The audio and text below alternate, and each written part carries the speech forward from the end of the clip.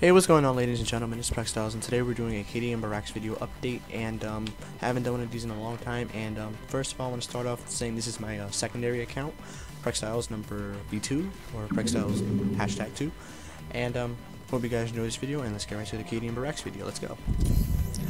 As you can see I'm a level 55, uh, just got level 55 a few games ago.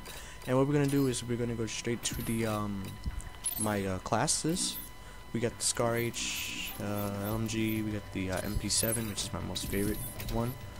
Uh, let's check out my, I got the nuclear calling card today, which was pretty uh, fantastic. Got it in Demolition with the MP7. And uh, my score streaks, VSAT, Lodestar, and K9. Um, what I want to show you guys. Hmm. I want to show you guys my assignments right here. Look how close I am to the killer. I need just these right here, and I get the master killer. Uh, what else I want to show you guys? I really don't play these game modes a lot right here.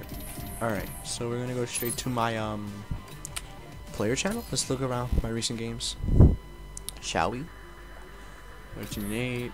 Really doesn't save a lot. Alright, so we're gonna go to my combat record. Uh, 3,876 kills, 51 wins, 4.99 KD ratio. My KD was a uh, 5.9, and it went down due to um, some um, party games including Free For All, Sticks and Stones, Gun Game, Sharpshooter, since I loaded really late, and um, 9 hours, 48 minutes, 53 seconds played. Um, here we go. 51 wins, 3.64 wins, win-loss ratio, and a 470 score per minute. Uh, my combat record, here we go. Uh, game modes. I don't understand how I have a 7 KD in win in um, dominate, you know, hardpoint. Uh, Lodestar, the accumulate my uh, nuclear stuff. The nuclear two unstoppables.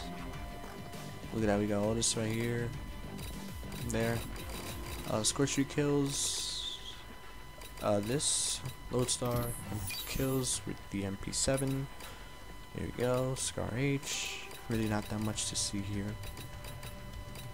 Uh, really nothing right here. Score streaks used 57 Lodestars. All these streaks right here.